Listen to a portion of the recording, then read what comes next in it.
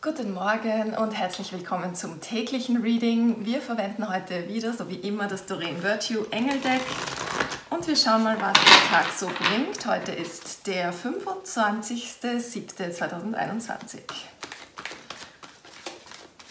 Tageskarte bitte.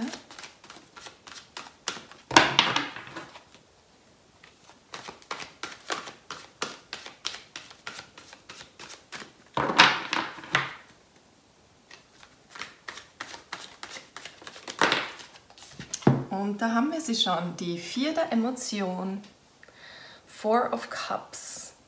Das ist eine Karte der Wasserenergie, das heißt Krebs, Skorpion und Fische.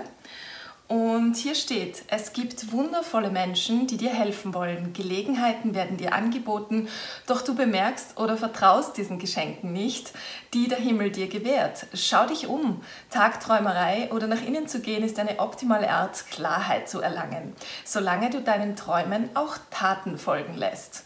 Okay, hier geht es darum, dass wir gewisse Angebote und Optionen, die uns geboten werden, nicht wirklich sehen oder wahrnehmen. Vielleicht sollten wir das ein oder andere Angebot, das wir vielleicht schon abgelehnt haben, noch einmal überprüfen. Ähm, es zwingt einen ja niemand, es dann anzunehmen, aber es zumindest noch einmal unter die Lupe zu nehmen und zu überprüfen, könnte ein Weg sein, um hier Klarheit zu schaffen. Ich hoffe, es hat dir gefallen und wenn ja, dann sehen wir uns morgen wieder. Tschüss!